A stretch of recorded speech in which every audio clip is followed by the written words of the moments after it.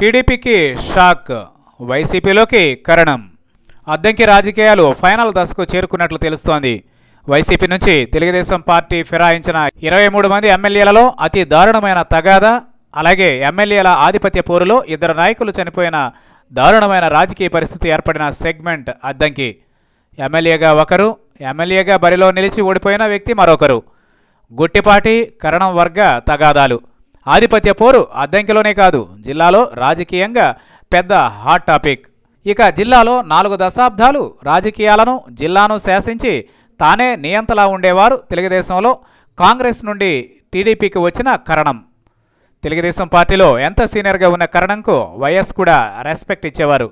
అయితే ఇప్పుడు ముందు వచ్చిన చెవుల కన్నా వెనకాలొచ్చిన కొమ్ములు వాడి అని కరణం వర్గానికి పొమ్మనలేక పొగబెడుతున్నారు తెలుగుదేశంలో. అయితే పార్టీ అధినేత సీఎం చంద్రబాబు మంత్రులు కూడా పార్టీలో కరణంకు ఎక్కువ ప్రయారిటీ ఇవ్వడం లేదు. గొట్టిపాటి వర్గం అద్దంకిలో తన హవా చాటుతూ ఉంటే కరణం వర్గం మాత్రం తన ప్రాభవాన్ని కోల్పోతోంది.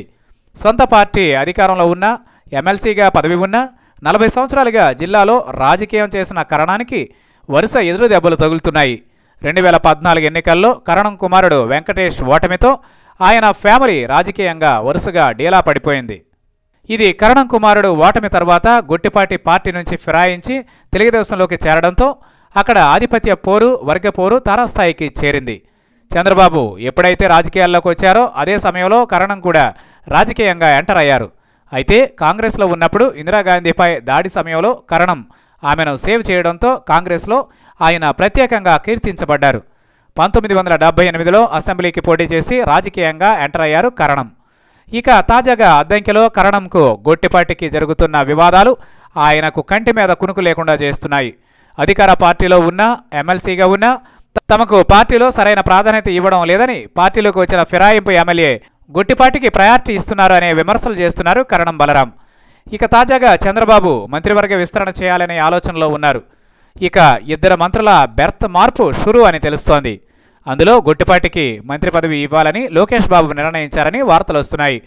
అలాగే గొట్టిపాటికి మంత్రి పదవి ఇస్తే ఇప్పటికే ఒకే వరలో ఉన్న కత్తులు మరింత దూసుకుంటాయి అనేది టీడీపీ ఆలోచించడం లేదు. అందుకే కరణం పార్టీ మారి వైసీపీ తరఫున వచ్చే ఎన్నికల్లో తన కుమారునికి బెర్త్ కన్ఫామ్ చేసుకోవాలని ఆలోచిస్తున్నారట. వచ్చే ఎన్నికల్లో టీడీపీ తరఫున పార్టీ ఫిరాయించిన సిట్టింగ్ ఎమ్మెల్యే గొట్టిపాటికి ఎమ్మెల్యే టికెట్ ఇస్తారని ఇప్పటికే వార్తలు వస్తున్నాయి. అంతేకాకుండా జగన్పై నేరుగా కరణం విమర్శలు చేసిన దాఖలాలు లేవు. అందుకే ఆయన వైసీపీలో తన కుమారుడి సీటు కోసం పార్టీలోకి రావడానికి రెడీ అవుతున్నారని తెలుస్తోంది.